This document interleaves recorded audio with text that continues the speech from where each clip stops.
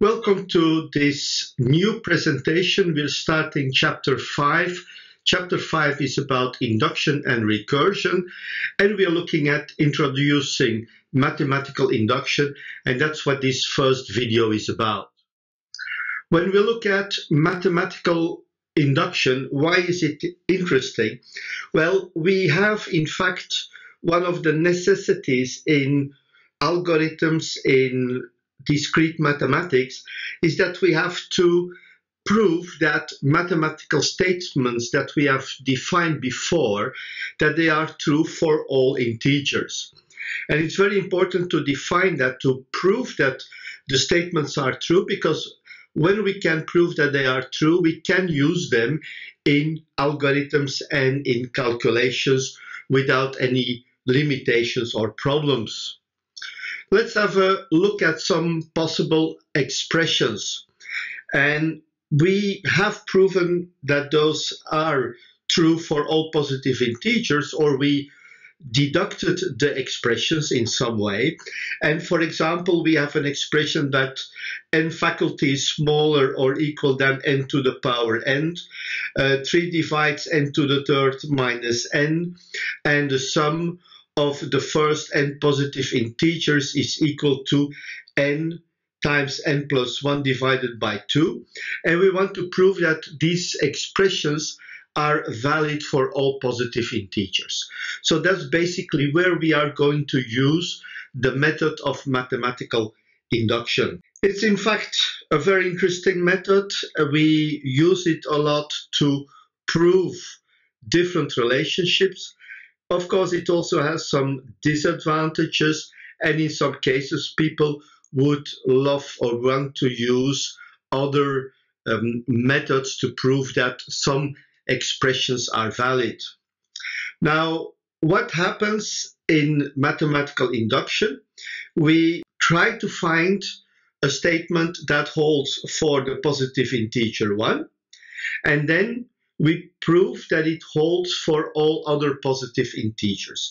And we will see how it works, how we do that, how we find that initial statement, and then how we expand it to other, to more, or to larger positive integers.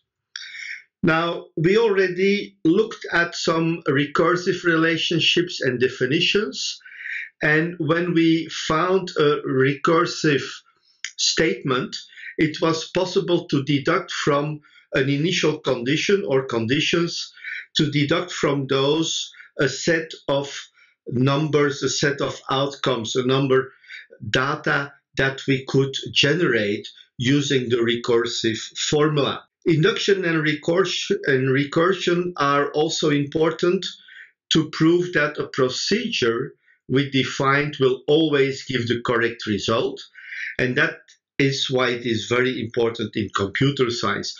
We want to have a statement or an expression that for whatever number we use, that the outcome would be correct. Now, when we look at the typical example, when people are starting at the mathematical induction, we consider in some cases the infinite staircase. And the infinite staircase is basically um, staircase which has no ending. And we want to find out is it possible to reach every step on the staircase? And basically, every step corresponds with a positive integer. Now, what do we know from the classic staircase and not infinite staircase? We can go to that staircase, we reach the first step of the staircase, and once we reach the first step, we can reach any particular step that we have. We have the second, the third, and once we reach a specific step, we can reach the next step. It's a kind of induction, a way to prove some mathematical induction, and it's a very interesting example to look at the infinite staircase.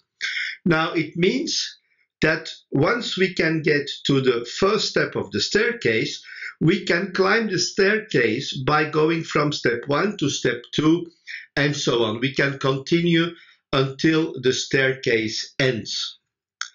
Now, when we look at the positive integers, they're infinite. And let's now consider that the staircase we are considering is infinite. It means it has no ending. So basically, we will go up.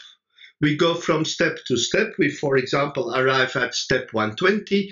We can go to step 121, 22, and so on. Once we reach one step, we can go to the next step. This is, in fact, the way that we want to use mathematical induction. We can go to the first step, which is the start of the staircase, and then once we reach step n, we make the assumption we have to prove can we go to the next step? Since it's a staircase, it's logical once we are on a step, we can go to the next step. So basically, this shows the principle of mathematical induction.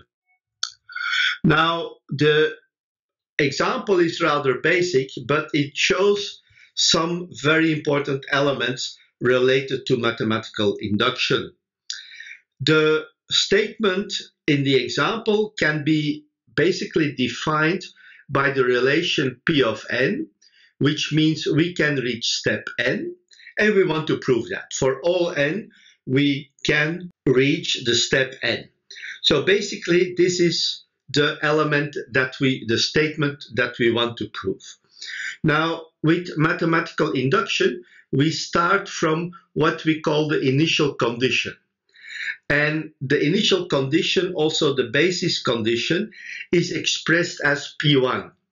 And in our case of the infinite staircase, it means I can reach step 1. So we always start by proving the initial condition or the base condition, and then we go to the next step. Now we want to know if we can reach the end step. Can we reach n plus 1? Can we reach the next step? So once I reach a certain step n, from that step, can I go to the next step, which is n plus 1? And I want to prove that for all values of n. So basically, when I have the base condition, the initial condition, and then we have the additional condition that we can go from n to n plus 1, when we can prove that both of those statements are true, then the statement is true, and we have proven the statement with the method of mathematical induction. Now, it's used extensively in discrete mathematics and computer science to prove that statements are correct.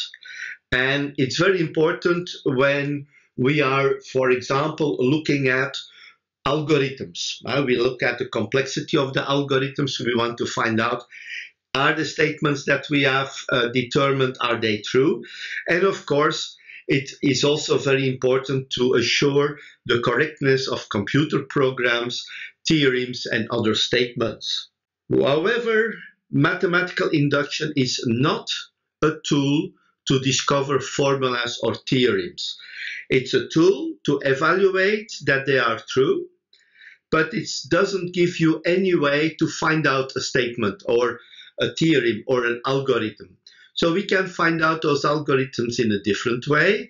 And once we have such an algorithm, we can use mathematical induction to prove that the algorithm is true. So this was basically the introduction of mathematical induction. I try to show you where mathematical induction is important, why it is important, and of course we will continue in this series of videos and in the next video we will discuss the principles of mathematical induction.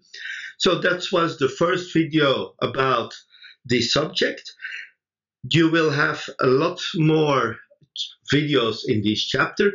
It's the first part Anyway, you're doing a great job, and I'm looking forward to seeing you in our next videos. Thank you, and bye bye.